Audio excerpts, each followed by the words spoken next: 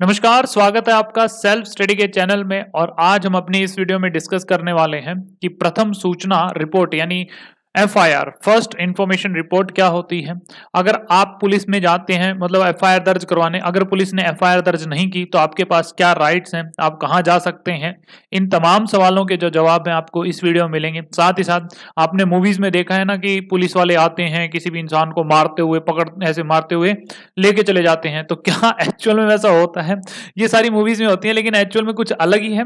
तो उन सारी चीज़ों के जवाब आपको इस वीडियो में मिलेंगे। क्या पुलिस बिना वारंट के गिरफ़्तार कर सकती है एक हमारे दिमाग में ऐसा मित रहता है कि, अरे हाँ पुलिस आएगी, वो तो पकड़ के लेके चली जाएगी, उसको वारंट की ज़रूरत है या नहीं है? तो ये भी आपको आज पता चल जाएगा। अच्छा वीडियो में आगे बढ़ने से पहले पीडीएफ जो है वो आप लोगों को प्रोवाइड करवाई जाएगी। टेलीग्राम में एक लिंक दिया मिलेगा डिस्क्रिप्शन बॉक्स में तो जाकर आप वहाँ से डाउनलोड कर सकते हैं। तो चलिए स्टार्ट करते हैं। देखिए, प्रथम सूचना रिपोर्ट यानी एफआईआर एक काफ़ी इंपॉर्टेंट दस्तावेज़ है। जब ये दर्ज हो जाता है, यानी एफआईआर जो है, जब दर्ज हो जाती है तो इसके बाद समझो पुलिस मामले की जाँच शुरू करती है इन्वेस्टिगेशन स्टार्ट कर देती है जब एफआईआर दर्ज हो जाती है। तो नंबर वन बात तो ये हो गई। अब आते हैं कि एफआईआर क्या होती है? देखिए एफ़ क्या है?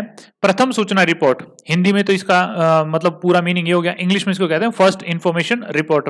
Short form में इसको एफआईआर कहते हैं। एक रिटर्न डॉक्यूमेंट होता है जो पुलिस के द्वारा तब तैयार किया जाता है जब उसे किसी संघ्य अपराध के बारे में सूचना प्राप्त होती है। अब यहाँ पर सवाल उठता है कि सर ये संघ्य अपराध क्या होता है?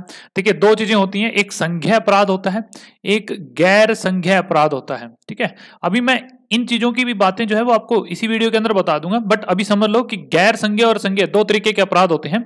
अभी यहाँ पर बात हो रही है संज्ञा अपराध की। डिफरेंस जो है वो थोड़ी देर में आपको क्लियर हो जाएगा। तो सब संज्ञा अपराध के बारे में पुलिस को पता चलता है। तो पुलिस के द्वारा एक एफआईआर तैयार की जाती है। क्लियर अब यह एक ऐसी सूचना है, यानी जो एफआईआर एक ऐसी सूचना है, जो समय पर सबसे पहले पुलिस तक पहुँचती है। इसीलिए इसको सबसे पहले पहुँचना, ठीक है? इसीलिए इसको प्रथम सूचना रिपोर्ट कहा जाता है, यानी फ़र्स्ट इंफॉर्मेशन रिपोर्ट कहा जाता है। आमतौर पर संज्ञा अपराध के शिकार व्यक्ति द्वारा, या तो खुद उसके खिलाफ कुछ अपराध हुआ है जो संज्ञा कैटेगरी, संज्ञा अपराध की कैटेगरी में आता है तो वो खुद जाके, पर्सनली जाके पुलिस स्टेशन में शिकायत कर सकते हैं, या फिर उसके बिहाव पे, उसके रिश्तेदार, उसके दोस्त, या फिर उसके कोई चाहने वाला जाकर पुलिस को संज्ञा अपराध के बारे में शिकायत दर्ज करा सकता है, क्लियर? और ये जो संज्ञा अपराध है, इसके खिलाफ जो है वो आप पुलिस के पास जाते हैं तो वो उसको आप मौखिक पे या लिखित रूप से किसी भी रूप में आप उसको दे सकते हैं। अब एक इंपॉर्टेंट इंफॉर्मेशन देखिए एफआईआर जो शब्द है, भारतीय दंड संहिता, यानी इंडियन पिनल कोड और कोड ऑफ़ क्रिमिनल प्रोसीजर आपराधिक प्रक्रिया संहिता 1973 इन दोनों में से कहीं पर भी किसी भी अन्य कानून में इसको परिभाषित नहीं किया गया है. यानी एफआईआर को आईपीसी और सीआरपीसी में कहीं पर भी परिभाषित नहीं किया गया है. इसकी डेफिनेशन नहीं है. हालाँकि हाँ थोड़ा बहुत इसका रेफरेंस दिया गया है कि पुलिस नियमों और कानून में सीआरपीसी की जो धारा है एक सौ चौवन, काफ़ी इंपॉर्टेंट है सीआरपीसी की धारा एक सौ चौवन के तहत दर्ज की गई जो जानकारी होती है, उसे ही एफआईआर के रूप में जाना जाएगा, ऐसा कहा गया क्लियर अब बात करते हैं कि एफआईआर के जो तीन इंपॉर्टेंट एलिमेंट्स होते हैं उनके बारे में। फ़र्स्ट एलिमेंट ये है कि जानकारी एक संज्ञा अपराध से संबंधित होनी चाहिए, यानी कोग्निशियबल ऑफेंस होना चाहिए वो।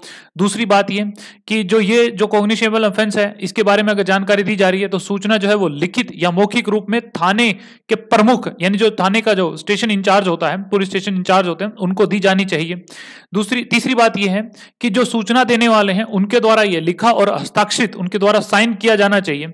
और जब ये हो जाएगा तो इन सभी बिंदुओं को डेली एक डायरी होती है उसके अंदर ये नोट किए जाते हैं। तो इंपॉर्टेंट चीज़ें हो गई अब यहाँ पर। अब बात करते हैं एफआईआर अगर दर्ज हो जाती है दर्ज होने के बाद क्या होता है? जब पुलिस एफआईआर जब दर्ज कर लेती है तो उसके बाद कहते हैं कि पुलिस मामले की जाँच करेगी। अब जाँच करेगी, वो गवाहों के बयान को इकट्ठा करेगी एविडेंस इकट्ठा करेगी साइंटिफिक मटेरियल का यूज़ करेगी, उनके द्वारा जो है वो अच्छा मतलब एविडेंस इकट्ठा करके।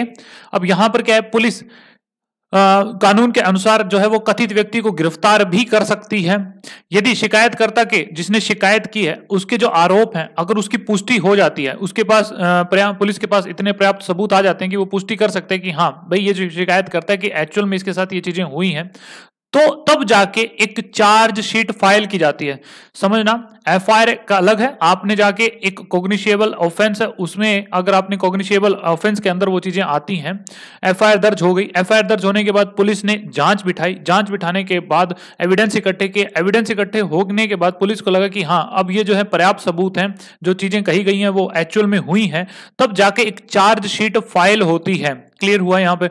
अगर कोई सबूत नहीं मिला, देखिए अब काफ़ी ज़्यादा इंपॉर्टेंट है, अगर कोई सबूत नहीं मिला तो एक फाइनल रिपोर्ट मेंशन की जाती है कि भाई कोई भी एविडेंस नहीं मिला और ये जो है वो कोर्ट के अंदर सबमिट की जाती है। इसको फिल किया जाता मतलब कि सबमिट कर दिया जाता है कोर्ट के अंदर। एक तो ये चीज़ हो गया। दूसरी बात, भाई शिकायतकर्ता ने बात बोली कि भाई मेरे साथ ये अपराध हुआ है और एक्चुअल में अपराध नहीं हुआ था तो एक कैंसलेशन रिपोर्ट फ़ाइल की जाती है कोर्ट के अंदर। नंबर तो होगी तीसरी बात यह है कि भाई जो व्यक्ति था उसने भाई शिकायत की और एक्चुअल में उसके पुलिस ने जब एविडेंस इकट्ठे किया तो पाया गया कि हाँ एक्चुअल में इसके साथ ये चीज़ें हुई हैं। तो क्या है कि पुलिस जो है आ, उस व्यक्ति को ढूंढ रही है जिसने अपराध किया। अगर वो अपराधी नहीं मिला तो पुलिस वहाँ पे क्या करेगी? एक अनट्रेस्ड रिपोर्ट जो है वो फ़ाइल करेगी कोर्ट के अंदर। अब कोर्ट के अंदर सपोज़ भाई पुलिस ने अपनी रिपोर्ट फ़ाइल कर दी पुलिस ने अपने एविडेंस दे दिए चार्जशीट फ़ाइल कर दी, और कोर्ट ने जब उसको देखा तो कोर्ट को लगा कि नहीं अभी इसके अंदर कुछ कमी है तो एक काम करिए, ये जो है वो आदेश फिर से दे देगी पुलिस को कि आप दोबारा से जाँच करके आइए। तो समझ में आया कि एफआईआर दर्ज होने के बाद क्या होते हैं? अगर एक तो सबूत मिल गए तो चार्जशीट हो जाएगी। चार्जशीट लेने के बाद पुलिस जो है वो कोर्ट में सबमिट कर देगी। सबमिट होने के बाद कोर्ट ये डिसाइड करेगा कि हाँ ये सही है, नहीं है। अगर सही नहीं होती है तो फिर वो आगे आदेश आदेश मतलब आगे जो जाँच करने के आदेश दे देती है। अगर वो व्यक्ति नहीं मिल रहा है, जिसने अपराध किया है तो एक अनट्रेस्ड रिपोर्ट फ़ाइल दर्ज की जाती है। अगर अपराध हुआ ही नहीं है तो एक रद्दीकरण, यानी कि कहें कि कैंसलेशन रिपोर्ट फ़ाइल की जाती है। क्लियर एक फाइनल रिपोर्ट जो है, वो मेंशन की जाती है कि एविडेंस हमें मिल गए हैं। तो सारी चीज़ें आपको उम्मीद करता हूँ कि समझ में आ रही होंगी। तो ये हो गया एफआईआर दर्ज होने की बात की स्थिति। अब बात करें कि एफआईआर दर्ज करने से अगर इनकार कर दिया जाए तो क्या होता है? तो दो चीज़ें हैं। आपके अगर इनकार कर दिया जाता है एफआईआर दर्ज करने से तो एक आती है सीआरपीसी की धारा एक सौ चौवन का क्लोज तीन और एक आता है एक सौ छप्पन का क्लोज तीन। तो दो चीज़ें हैं। पहला पढ़ते हैं हम कि सीआरपीसी की धारा एक सौ चौवन का क्लोज तीन के तहत यदि किसी व्यक्ति कोई थाने में जाता है और थाने का जो प्रमुख है वो एफआईआर दर्ज करने से मना कर देता है। तब क्या होगा? तब जो व्यक्ति है तो वो संबंधित पुलिस अधीक्षक यानी डीसीपी के पास जाके वो शिकायत कर सकता है। अब जो डीसीपी है, वो इस बात से अगर संतुष्ट होते हैं कि भाई जो जानकारी दी गई है इस शिकायतकर्ता के द्वारा, वो एक संज्ञा अपराध का खुलासा करते हैं। मतलब कि उसके अंदर जो ये जो चीज़ जानकारी दी जा रही है शिकायतकर्ता के द्वारा कि वो एक कोग्निशियबल अपराध है। और ये अगर इस बात से संतुष्ट, अपने आप को सेटिस्फाई पाते हैं डीसीपी तो वो क्या करते हैं कि वो मामले की जाँच या तो खुद करेंगे या फिर कहेंगे कि वो एक अधीनस्थ पुलिस अधिकारी को जाँच करने के लिए बिठा देंगे। एक तो ये हो गया कि डीसीपी के पास जाके खुद शिकायत कर सकते हैं वहाँ पे। सेकंड नंबर ये है कि जो अगर ये दर्ज नहीं की गई एफआईआर, जो पीड़ित व्यक्ति है, वो संबंधित न्यायालय के सामने जाके सीआरपीसी की धारा 156 के क्लोज तीन के तहत अपनी शिकायत दर्ज कर सकते हैं।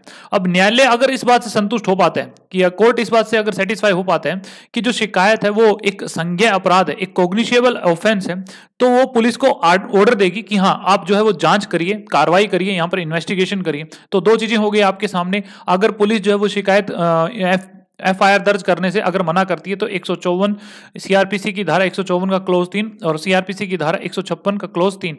ये आपके बहुत ज़्यादा इंपॉर्टेंट है। अब आगे चलते हैं कि एक होती है, ज़ीरो एफआईआर क्या होती है? देखिए, ज़ीरो एफआईआर एक ऐसी एफआईआर होती है, जब समझिए, एक यहाँ पर ये एक एरिया है और इस एरिया में मान लेते हैं कि ये एक पुलिस स्टेशन है, इस एरिया को संभालने वाला। अब यहाँ पर एक और दूसरा एरिया बना लेते हैं मान लेते हैं कि यहाँ पर एक और एरिया हो गया और इस एरिया में ये पुलिस स्टेशन हो गया। क्लियर तो दोनों के अपने अपने एरिया अलग होते हैं जुरिस्डिक्शन अलग अलग होते हैं हर एक पुलिस स्टेशन के। अब सुपोज करिए कि यहाँ पर कोई अपराध होता है और उस अपराध की रिपोर्ट जो है वो इस थाने में की जाती है।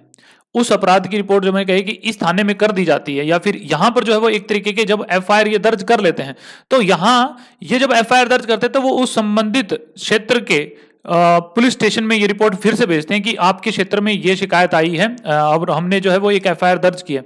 तब ये जब यहाँ पर एफआईआर जाती है इस स्टेशन के अंदर, ये दोबारा से एक नई एफआईआर फिर से दर्ज करते हैं। और जो पुरानी एफआईआर जो जो जो थी, इस पुलिस स्टेशन ने भेजी थी, दूसरे क्षेत्र के पुलिस स्टेशन ने भेजी थी, इसी को ज़ीरो एफआईआर कहा जाता है। क्लियर हुआ? तो यही बात यहाँ पर लिखी हुई है। जब एक पुलिस स्टेशन को किसी अन्य पुलिस स्टेशन के अधिकार क्षेत्र में किए गए कथित अपराध के विषय में शिकायत प्राप्त होती है तो वह प्राथमिक, यानी एक एफआईआर दर्ज करता है और फिर आगे जाँच के लिए उसे संबंधित पुलिस स्टेशन में स्थानांतरित, यानी ट्रांसफ़र कर देता है। और इस प्रकार की जो एफआईआर होती है, इसी को ज़ीरो एफआईआर कहा जाता है। क्लियर। और जब ये ज़ीरो एफआईआर मतलब जाती है यहाँ पर जो उसके क्षेत्र में आता है पुलिस स्टेशन तो जब जाती है तो वहाँ पर क्या होता है कि एक दोबारा से एक नई एफआईआर यहाँ पर दर्ज की जाती है और फिर उसके बाद जाँच शुरू कर दी जाती है। क्लियर हुआ? तो अब ये चीज़ें आप मुझे लगता है कि आपको समझ में आ गई होंगी। अब दो चीज़ें बची हैं। एक तो संज्ञा अपराध बचा है और एक गैर संज्ञा अपराध बचा है। ये क्या होते हैं? अब बात करते हैं, अभी तक आपको एक बात का जवाब नहीं मिला होगा कि क्या पुलिस बिना वारंट के गिरफ़्तार कर सकती है या नहीं कर सकती है? देखिए, दो अपराध होते हैं। एक होता है संज्ञा अपराध, एक होता है गैर संज्ञा अपराध। अगर रिपोर्ट जो है या फिर कहीं एफआईआर जो वो संज्ञा अपराध के अकॉर्डिंग दर्ज की गई है तो पुलिस बिना वारंट के गिरफ़्तार कर सकती है। बिल्कुल, देखिए, संज्ञा अपराध कौन कौन से होते हैं? रेप हो गया, मर्डर हो गया तो ये बहुत ज़्यादा एक हीनियस क्राइम होते हैं तो इसके अंदर पुलिस जो है, इसको कोई भी ऑर्डर की ज़रूरत नहीं पड़ती है वारंट की तो वो जाकर सीधा गिरफ़्तार कर सकती है। एक तो ये चीज़।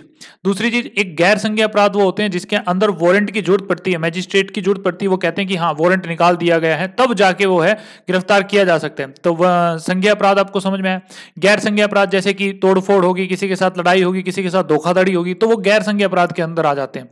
क्लियर तो गैर संज्ञा अपराध के अंदर क्या होता है? पुलिस अधिकारी को बिना वारंट की गिरफ़्तार नहीं, करने का अधिकार नहीं होता। न्यायालय की अनुमति के बिना पुलिस अपराध की जाँच भी नहीं कर सकती है। गैर संज्ञ अपराधों को मामले में सीआरपीसी की धारा 155 के तहत एफआईआर दर्ज की जाती है। देखिए, अलग अलग होगी, एक अलग हो गया 155 अलग हो गया और एक सौ छप्पन मैंने आप लोगों को अलग बताया था।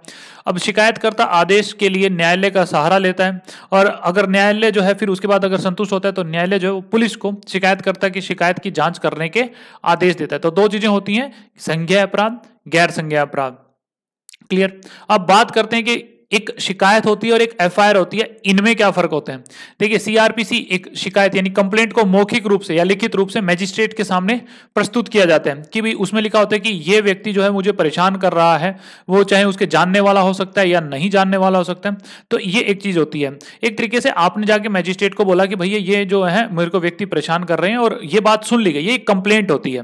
लेकिन एफआईआर एक दस्तावेज़ है जिसे पुलिस ने शिकायत के तथ्यों की पुष्टि के बाद तैयार किया यानी एफ़ एफआईआर में अपराध और कथित अपराधी का विवरण हो सकता है। क्लियर हुआ? यदि शिकायत अपने कोई कंप्लेंट की है और ऐसा प्रतीत होता है कि वो एक कोग्निशियबल ऑफेंस के अंडर आता है तो सीआरपीसी की धारा एक सौ चौवन के तहत एफआईआर दर्ज की जाएगी। देखिए कोग्निशियबल के लिए क्या है? एक सौ चौवन है। लेकिन नॉन कोग्निशियबल यानी गैर असंख्य के लिए क्या है? एक सौ पचपन है। तो दोनों अलग अलग होगी यहाँ पर। क्लियर तो अगर कॉग्निशियबल मिला तो एक सौ चौवन के तहत एफआईआर दर्ज हो जाएगी। तो ये पुलिस फिर क्या है, उसके बाद जाँच करना शुरू कर देगी। यदि कोई अपराध नहीं हुआ है तो आपको मैंने जैसे बताया कि पुलिस द्वारा जाँच जो है वो बंद कर दी जाती है।